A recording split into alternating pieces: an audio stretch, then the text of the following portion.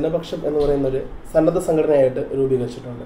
ഭാവിയിൽ രാഷ്ട്രീയ പാർട്ടിയാകുമെന്ന് M L A തന്നെ പ്രസ്താവിച്ചിട്ടുണ്ട്. എന്തായിരിക്കും ഇതിന്റെ ഒരു പ്രവർത്തന ശൈലി? അതിന്റെ പ്രവർത്തന ശൈലി വളരെ വ്യക്തമായിട്ട് ഇന്നലെ ഞാൻ പറഞ്ഞതാണ്. അതായത് കേരളത്തിലെ നൂറ്റി നാൽപ്പത് നിയോജക മണ്ഡലം കമ്മിറ്റി ഉണ്ടാവും ഇവിടെ പഞ്ചായത്തുകളെല്ലാം കൂടെ ഏകദേശം ആയിരത്തോളം പഞ്ചായത്തുണ്ട് ആയിരത്തോളം മണ്ഡലം കമ്മിറ്റികളുണ്ടാവും പതിനാല് ജില്ലാ കമ്മിറ്റി ഉണ്ടാവും ഇരുപതിനായിരത്തോളം വാർഡുകളുണ്ട്. ഇരുപതിനായിരത്തോളം വാർഡ് കമ്മിറ്റി ഉണ്ടാവും അപ്പം നമ്മൾ ഉദ്ദേശിക്കുക എന്താണെന്ന് ചോദിച്ചാൽ ഓൺലൈൻ മെമ്പർഷിപ്പാണ് കൊടുക്കുന്നത്. ഇപ്പോൾ ആർക്കും വിളിക്കാം. ടോൾ ഫ്രീ നമ്പറാണ് ആ വിളിക്കുന്നതിന് നമ്മൾ തിരിച്ച് വിളിക്കുന്നു അവർക്ക് മെമ്പർഷിപ്പ് കൊടുക്കുന്നതാണ്.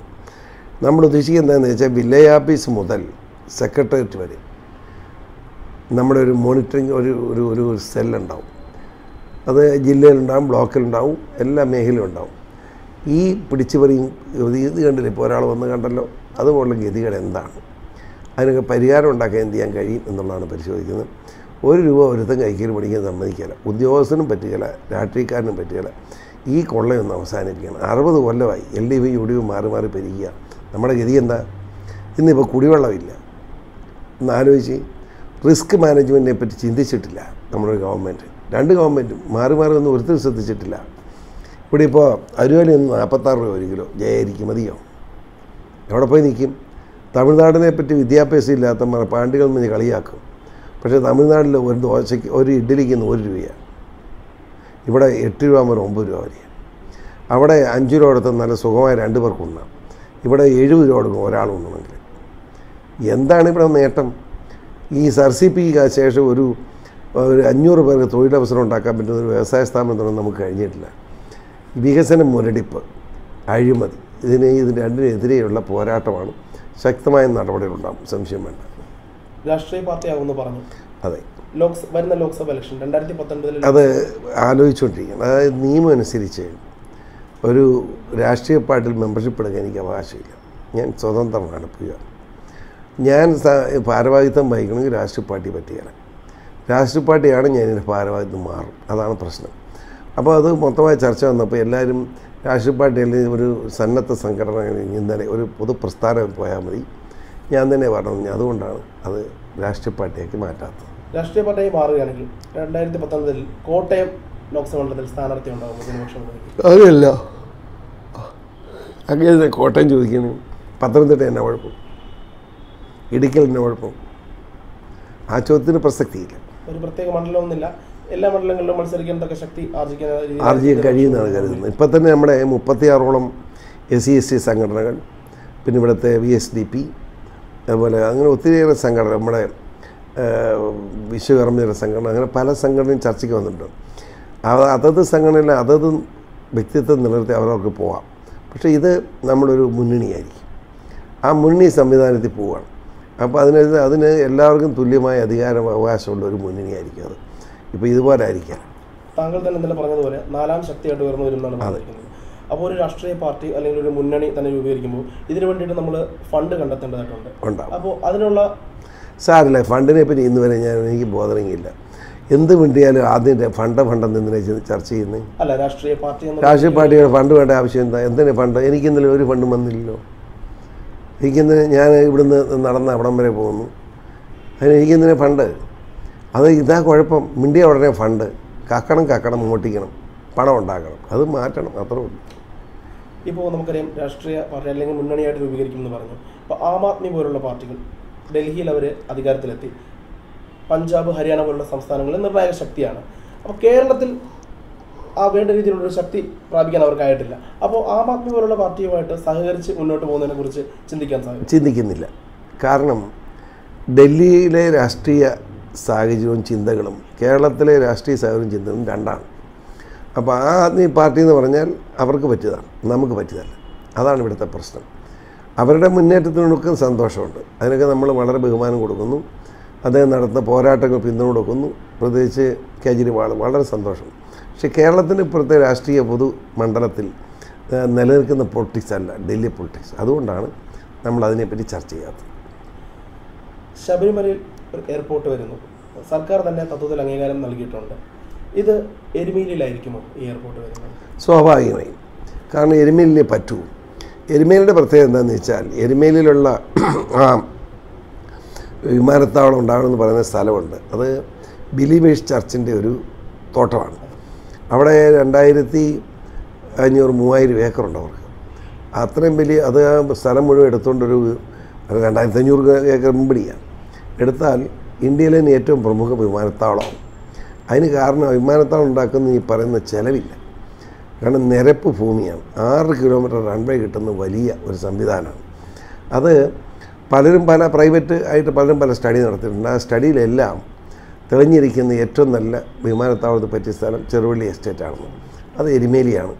സ്വാഭാവികമായിട്ടും മുഖ്യമന്ത്രിയും ആ ആ അഭിപ്രായത്തോട് യോജിക്കുന്നതാണ് ഞാൻ മനസ്സിലാക്കുന്നത്. അതുകൊണ്ട് വിമാനത്താവളം എത്രയും വേഗം വരും.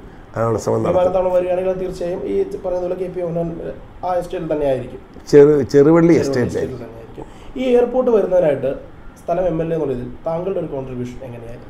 എന്റെ കോൺട്രിബ്യൂഷൻ എന്താണോ അത് മുഴുവൻ ഉണ്ടാവും. എന്താ സംശയം? ഇത് ഇതുവരെ ഉള്ള ഒരു പ്രവർത്തനം എങ്ങനെയായിരുന്നു? ഇത്തരമുള്ള റോൾ കാര്യങ്ങളെല്ലാം ഗവൺമെന്റിനെ ബോധ്യപ്പെടുത്തിയിട്ടുണ്ട്.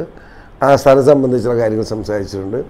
ചെറുവള്ളി എസ്റ്റേറ്റിന് മാനേജ്മെന്റുമായി വിശദമായി ഞാൻ തന്നെ പോയി സംസാരിച്ചിട്ടുണ്ട്. അങ്ങനെ അത് സ്ഥലം അവരുമായിട്ട് ചർച്ച ചെയ്തിട്ടുണ്ട്. അതൊക്കെ നിയമപരമായി തീരേണ്ട പ്രശ്നങ്ങളാണ്. അതൊക്കെ ഇനി മുഖ്യമന്ത്രി ചെയ്യേണ്ട കാര്യങ്ങളാണ്. പിന്നെ ഞാൻ ചെയ്ത ഒരു കാര്യം എന്താണെന്ന് വെച്ചാൽ ഇവിടെ ഒരു മലയാളി അസോസിയേഷൻ വന്ന് രണ്ടായിരത്തി അഞ്ഞൂറ് കോടി രൂപ മുടക്കാമെന്ന് പറഞ്ഞു. അവർ കത്ത് തന്നു. പക്ഷേ അതെങ്ങനെയെന്ന് എനിക്കറിയില്ല. പ്രൈവറ്റാണ്. നമ്മളതിന് ഇടപെടുന്നില്ല. പക്ഷേ ഇവിടുത്തെ കോർപ്പറേഷൻ ബാങ്ക് എത്ര കോടി രൂപ വേണമെങ്കിലും ഈ വിമാനത്താവളം നിർമ്മാണം തരാമെന്ന് പറഞ്ഞതിന്റെ റീജിയണൽ മാനേജർ ഇവിടെ വന്നിരുന്നു. അദ്ദേഹം മുഖ്യമന്ത്രി കത്ത് തന്നു ഞാൻ ആ കത്ത് മുഖ്യമന്ത്രി ഏൽപ്പിച്ചിട്ടുണ്ട്. അങ്ങനെ സാമ്പത്തികം പ്രശ്നമല്ല. അത് പ്രത്യേകിച്ച് ഏതെങ്കിലും സമ്പന്നന് പുറകെ നടക്കേണ്ട ഗതികേടില്ല. ബാങ്ക് തന്നെ കാശ് തരാൻ തയ്യാറാണ്. നേരിട്ട് എത്രയോ പ്രാവശ്യം സംസാരിച്ചു. സി എം പറഞ്ഞുകൊണ്ടാണല്ലോ അദ്ദേഹം ക്യാബിനറ്റ് താങ്കളുടെ അംഗീകരിച്ചു അല്ലെന്ന് അത് വളരെ ക്ലിയർ അല്ലേ ക്യാബിനറ്റ് പിന്നെ എന്ത്? ക്യാബിനറ്റ് തത്വത്തിൽ അംഗീകരിച്ച പിന്നെ ചുമ്മാ സ്വപ്നത്തിൽ സ്വർഗത്തിൽ നിന്ന് പൊട്ടി വന്നു അതിന് എന്റെ കോൺട്രിബ്യൂഷൻ ഞാൻ അവിടുത്തെ ലോക്കൽ എം എൽ എന്ന് എന്ത് കാര്യമുണ്ട് എന്റെ കോൺട്രിബ്യൂഷൻ ഉണ്ടാവും. ഇത് നമ്മുടെ ഈ എയർപോർട്ടിന്റെ ആ പദ്ധതി പ്രദേശം വരുന്നത് റാന്നി മണ്ഡലത്തിന്റെ കൂടി അതിർത്തിയാണ്. അല്ല. അബദ്ധം പറയണ്ട അല്ല. റാന്നി എം എൽ എ ഇവിടെ വിമാനത്താവളം വരുന്നത് അനുകൂലിച്ചിട്ടുണ്ട്. അത് റാന്നിയായിട്ടൊരു ബന്ധവുമില്ല. പക്ഷേ അദ്ദേഹം ഈ ഈ ആറന്മുള വിമാനത്താവളം സാധ്യമല്ല എന്ന് പറഞ്ഞ സാഹചര്യത്തിൽ ഒരു വിമാനത്താവളം ഉണ്ടാകുന്നതിന് അവിടെ ആ മേഖലയിൽ ലാഹ എസ്റ്റേറ്റും ലാഹ എസ്റ്റേറ്റ് റാന്നിയായിട്ട് ബന്ധപ്പെട്ടാണ്. ഇത് പൂഞ്ഞാറും പൂഞ്ഞാർ മാത്രമല്ല പൂഞ്ഞാറും കാഞ്ഞിരപ്പുഴ രണ്ട് നിയമം വരുന്നുണ്ട് ഈ ചെറുള എസ്റ്റേറ്റ്. അപ്പം അനിൽ രാജീവ് ബ്രാവും ചെറുവിളി എസ്റ്റേറ്റ് വരുന്നത് അദ്ദേഹം സന്തോഷം കാരണം. അദ്ദേഹത്തിന്റെ വീട്ടിലോട്ട് അവിടുന്ന് മൂന്ന് കിലോമീറ്റർ ഉള്ളൂ. മനസ്സിലായില്ലേ? നീവെള്ളം പൂഞ്ഞാറാണ്. അതിർത്തി പക്ഷേ അദ്ദേഹത്തിന്റെ വീട്ടിലോട്ട് മൂന്ന് നാല് നാല് കിലോമീറ്റർ ഉള്ളൂ. അത്രയും അടുത്താണ്. ഈ നേരത്തെ പറഞ്ഞു ഒരു സ്വകാര്യ വ്യവസായി വന്നിട്ട് ഇതിനൊക്കെയുള്ള ഫണ്ട് ഫണ്ട് പിരിവും കാര്യങ്ങളെ കുറിച്ച് സംസാരിച്ചിരുന്നു ഇല്ല ഇല്ല. വേണ്ടാത്ത കാര്യം പറയില്ല പത്രക്കാരൻ പറയും മാന്യമായിട്ട് വർത്താനം പറയണം. എന്നോട് പണ്ട് ഒരു കാര്യമൊന്നും പറഞ്ഞില്ല. അയാൾ രണ്ടായിരം എന്റെ അടുത്ത് വന്ന് പറഞ്ഞ് അയാൾ രണ്ടായിരത്തി അഞ്ഞൂറ് കോടി രൂപ മുടക്കാൻ സമ്മതമാണെന്നേ പറഞ്ഞുള്ളൂ. പക്ഷേ അത് അങ്ങേരുടെ അഭിപ്രായം അത് അതിന് സ്വാതന്ത്ര്യമില്ല അങ്ങേർക്ക്. ഒരു മലയാളി എന്നതിൽ അത് പറയാൻ സ്വാതന്ത്ര്യമുണ്ട്. അങ്ങനെ അത് പറഞ്ഞു. അദ്ദേഹം കൊണ്ടുവന്നതാണ് അദ്ദേഹം കൊണ്ടുവന്ന സാധനം ഇത്. ഞാൻ സൂക്ഷിച്ചിട്ടുണ്ട്. Development of greenfield international greenfield അതിനെ മുഖ്യമന്ത്രി ഗ്രീൻഫീൽഡ് ഇന്റർനാഷണൽ എയർപോർട്ടിൻ സെൻട്രൽ ട്രാവൻകൂർ എന്നുള്ളൂ ഇതിനകത്ത് അദ്ദേഹം പറയുന്നത് ഇതിനകത്ത് പേരൊന്നും ആരുടെ പറഞ്ഞു എയ്ക്കോം എന്നാണ് പറഞ്ഞത് മനസ്സിലായില്ലേ? ഇത് ഇതിനകത്ത് ആരെങ്കിലും ഒരാൾ ഒപ്പിട്ടിരിക്കുന്ന ഒന്നും അങ്ങനെ എ പി ഷാ എന്ന് പറഞ്ഞ ആൾ ഒപ്പിട്ടിരിക്കുക. അല്ലാതെ ഇത് ആരാന്ന് ചോദിച്ചാൽ എനിക്ക് പേരൊന്നും അറിയത്തില്ല. അവരെന്റെ കൊണ്ടു തന്നാണ്. ഇത് വായിച്ചപ്പോൾ ഇതിനെപ്പറ്റി എനിക്ക് നല്ല അഭിപ്രായം തോന്നി. കാരണം അവരൊരു സ്റ്റഡി നടത്തുകയാണ്. അതിപ്പോൾ നിങ്ങൾക്ക് വേണമെങ്കിൽ സ്റ്റഡി നടത്താം എനിക്ക് വേണമെങ്കിൽ നടത്താം. അവരുടെ ആ സന്മസ് നന്ദി. കാരണം അവർ ഇപ്പോൾ അവർ പറഞ്ഞിരിക്കുന്ന ഒന്നാം സ്ഥാനം നമ്മുടെ ചെറുവിളി എസ്റ്റേറ്റ് തന്നെയാണ്. അപ്പോൾ നമുക്ക് അവർ കൂടുതൽ സന്തോഷമുണ്ട് അവരോട്. അതായത് ഞാൻ പറയാം പിണറായി സർക്കാരിന്റെ ഭരണത്തെപ്പറ്റി എനിക്ക് നല്ല അഭിപ്രായമാണ്. പിണറായി എന്ന നിലയിൽ ശക്തമായി പോകുന്നതിലൊന്നൊരു ചിന്തയുണ്ടായിരുന്നു. പക്ഷേ ഇപ്പോൾ അതിനകത്ത് ഞാൻ കാണുന്ന ഒരു കുഴപ്പം പിണറായിയെ ഒറ്റപ്പെടുത്തിക്കൊണ്ട് സി പി എമ്മിനകത്ത് തന്നെ എന്തെങ്കിലും കളി നടക്കുന്നുണ്ടോ എന്ന് സംശയമുണ്ട്. കാരണം പിണറായിക്ക് ഇപ്പം സ്വാഭാവികമായിട്ട് ഇപ്പോൾ പിണറായിയുടെ ഭരണം എന്ന് പറയുമ്പോൾ വല്ലതും നടക്കുന്ന മനുഷ്യൻ ചിന്തിച്ചിരുന്നത് പക്ഷേ ഇപ്പോൾ ഒന്നും നടത്തില്ല നടക്കില്ല എന്ന നിലയിലേക്കുള്ള മൂവ്മെന്റ് ഉണ്ട്. അതെന്താണെന്ന് എനിക്കറിയില്ല. അത് പിണറായി സഹാവ് തന്നെ പരിശോധിച്ച് ഉത്തരം കണ്ടെത്തേണ്ടതാണ് അതുപോലെ തന്നെ ഈ വ്യാപകമായ ഈ സ്ത്രീ വിഷയം വളരെ വലുതല്ലേ? എന്തുകൊണ്ട് ഇത് സംഭവിക്കുന്നു നോക്കണ്ടേ? അതുപോലെ നിത്യവ്യവസായ സാധനങ്ങളുടെ വില വർധനവ് പിടിച്ച കെട്ടാത്ത മട്ടിലായി അപ്പം കഴിഞ്ഞ ആറേഴ് മാസമായി നല്ല നിലയിൽ നിന്ന് പിണറായി സർക്കാരിന് ഇപ്പോൾ അല്പം ഇടിവ് സംഭവിച്ചിട്ടുണ്ട്. ഉറച്ചു വെക്കേണ്ട. കുടിവെള്ളമില്ല എന്നത് അതിലും വലിയ പ്രശ്നമാണ്. ആ മാന ക്രൈസിസ് മാനേജ്മെന്റ് ഒരു വിജയമായി തീർന്നിട്ടില്ല. ഇനിയും സമയമുണ്ട് പിണറായി ശക്തമായി നീങ്ങിയാൽ അദ്ദേഹത്തിന് പേരുദോഷമില്ലാതെ മുമ്പോട്ട് പോകാൻ കഴിയും. പല വിഷയങ്ങളിലും ഇപ്പോൾ ലോ അക്കാഡമി സമരത്തിലായാലും അല്ലെങ്കിൽ ഇപ്പോൾ നടന്നിട്ടുള്ള സിനിമ യുവ നടിയുടെ നടിക്കെതിരെയുള്ള ആക്രമണത്തിലായാലും മുഖ്യമന്ത്രി വേണ്ട പോലെ പ്രതികരിച്ചില്ല എന്നൊരു അതെ ഓരോരുത്തരും ഓരോ സ്വഭാവമല്ലേ ചിലർ കാണുന്നതെല്ലാം കയറി പ്രതികരിക്കും. ചിലർ മിണ്ടുകല ചിലർ പ്രവർത്തിക്കും. മിണ്ടാതെ പ്രവർത്തിക്കും. ചിലർ പ്രവർത്തനമില്ലാതെ മിണ്ടിക്കൊണ്ടിരിക്കും. ഇങ്ങനെ പലതുണ്ടല്ലോ. മുഖ്യമന്ത്രി പിണറായി പിണറായി വിജയൻ മുഖ്യമന്ത്രി ആകുന്നതിന് മുമ്പും അദ്ദേഹം പാർട്ടി സെക്രട്ടറി എങ്കിലും ഒരു പരിധിക്കപ്പുറത്ത് പത്രക്കാരെ കാണും കൂടുതൽ സംസാരിക്കുക ചെയ്യാറില്ല. ആ സ്വഭാവം ഇപ്പോഴും അദ്ദേഹം തുടരുന്നു എന്നുള്ളതല്ല അതിന് അതിനെന്തെങ്കിലും പ്രാധാന്യമുള്ളത് ഞാൻ കാണുന്നില്ല. അവസാനമായിട്ട് താങ്കളുടെ മണ്ഡലത്തിലേക്ക് തന്നെ വരികയാണ്. കാഞ്ഞിരപ്പള്ളി അമൽജ്യോതി കോളേജിലെ വിദ്യാർത്ഥികൾ നേരിടണം നേരിട്ടുകൊണ്ടിരുന്ന അവിടെ ഒരു എം സി എ ഡിപ്പാർട്ട്മെന്റിന്റെ എച്ച് ഒ ഡി ആയിട്ടുള്ള ഒരു ഒരു ഫാദർ കുട്ടികളോട് വളരെ മോശമായി പെരുമാറും ഇങ്ങനെ ഇങ്ങനെ താങ്കൾക്ക് തന്നെ നേരിട്ട് കുട്ടികൾ പരാതി തരികയുണ്ടായെന്ന് പറഞ്ഞിരുന്നു. എന്താണ് കുട്ടികളെ പരാതിയിൽ പറഞ്ഞിരുന്ന കാര്യം?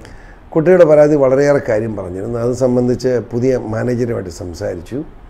ആ സംസാരത്തിനടുത്ത് ഒത്തിരിയേറെ മാറ്റങ്ങൾ വരുത്തി കഴിഞ്ഞു. അതുതന്നെയല്ല ഇരുപത് ഇരു ഇന്ന് ആ ബിഷപ്പ് വരുന്നുണ്ട് മാനേജർ. അദ്ദേഹം കൂടെ വന്നു കഴിയുമ്പോൾ ബാക്കി കാര്യങ്ങളും എല്ലാം ക്ലിയർ ചെയ്യുമെന്ന് ഞാൻ കരുതുകയാണ്. അതുകൊണ്ട് ഇപ്പോൾ ഒരു കുഴപ്പമില്ല. പിന്നെ ഒരു പ്രശ്നം എന്താണെന്ന് വെച്ചാൽ പിള്ളേർ പറഞ്ഞത് മുഴുവൻ ശരിയല്ല. ഒരു റൂബൻ അച്ഛനെ പറ്റി കുറ്റം പറഞ്ഞു. ഞാൻ പഠിച്ചപ്പോൾ റൂബൻ നല്ല വൈദികനാണ്. ഒരു ഡൊമിനിക് അച്ഛനെ പറ്റി പരാതി പറഞ്ഞു. ഡൊമിനിക് അച്ഛനും ഹോസ്റ്റൽ വാർഡൻ ഇച്ചിരി ശക്തമായ ഇടപെടൽ നടത്തിയിട്ടുണ്ടെങ്കിലും പിള്ളേർ പറഞ്ഞ അത്ര ക്രൂവൽറ്റി ഒന്നും അങ്ങനെ ഭാഗത്തുണ്ടായിട്ടില്ല പിന്നെ ഒരു സിസ്റ്ററിനെ പറ്റി പറഞ്ഞത് മതി. ആ സിസ്റ്ററെ പറ്റി ഞാൻ പഠിച്ചപ്പം അവിടുത്തെ പെൺകുട്ടികൾ ഏറ്റവും ഇഷ്ടപ്പെടുന്ന ആ സിസ്റ്ററിനെയാണ് അപ്പോൾ പിള്ളേരെ എനിക്ക് എനിക്ക് തന്ന എല്ലാ കാര്യവും ശരിയല്ല. വളരെ മാന്യമായ നല്ല അധ്യാപകർ എന്ന നിലയിൽ തന്നെയാണ് ആ റൂബൻ അച്ഛൻ സിസ്റ്ററും സിസ്റ്റർ എച്ച് ഒടിയാണ് ആ സിസ്റ്ററെ പറ്റി ഇവർ എന്നോട് പറഞ്ഞപ്പോൾ ഞാൻ ഭയങ്കര രോഷം കൊണ്ടതാണ്. പക്ഷേ ഞാൻ പഠിച്ചപ്പോൾ സിസ്റ്റർ ഒരു ഒരു ഒരു മോശ സ്ത്രീ എന്ന് പറയാൻ പറ്റില്ല. അത് തന്നെയല്ല പിള്ളേരുടെ നന്മയാണ് അവർ ആഗ്രഹിച്ചത്. ഇത്രയും പണം മുടക്കി ഉണ്ടാക്കിയ ഒരു കോളേജ് തകർക്കാൻ നമുക്ക് എളുപ്പമാണ്. അതുകൊണ്ട് ഉണ്ടാക്കാൻ നമുക്ക് കഴിയില്ല. അതുകൊണ്ട് കോളേജ് തകർച്ച ഉണ്ടാവരുത് ഏറ്റവും നല്ല എഞ്ചിനീയറിംഗ് കോളേജ് കോളേജ് നിലനിൽക്കണമെന്നാണ് ഞാൻ ആഗ്രഹിക്കുന്നത്. ഇനിയാണെങ്കിലും പിള്ളേരുടെ പരാതി ഉണ്ടെങ്കിലും എന്താണെങ്കിലും അതിന് പരിഹാരം പരിഹാരമുണ്ടാക്കാനുള്ള ശക്തമായ ഇടപെടലുകൾ ഞാൻ നടത്തും. അതിന്റെ പേരിൽ ഏതെങ്കിലും വ്യക്തിയോട് മാനേജ്മെന്റിനോട് പ്രത്യേക സ്നേഹം കാണിക്കാനോ ഏതെങ്കിലും പ്രിൻസിപ്പൽ കാണിക്കുന്ന ഏതെങ്കിലും അബദ്ധം കാണിച്ച് കൂട്ടി നിൽക്കാനൊന്നും എന്നെ കിട്ടുകയില്ല പക്ഷേ പിള്ളേരുടെ പ്രശ്നങ്ങൾ പരിഹരിക്കപ്പെടുന്നതോടൊപ്പം പിള്ളേർ മാന്യമായ കുഞ്ഞുങ്ങളായി പഠിച്ച് നല്ല മാർക്കോടി പഠിച്ച് പാസ്സായി. ജയിച്ചു വരണമെന്ന് ഞാൻ ആഗ്രഹിക്കുന്നു. അതിനുള്ള എല്ലാ സഹായവും ഞാൻ ചെയ്യുന്നതാണ്. കൂടുതൽ വാർത്തകൾക്കും വിശേഷങ്ങൾക്കുമായി ഞങ്ങളുടെ ചാനൽ സബ്സ്ക്രൈബ് ചെയ്യുക.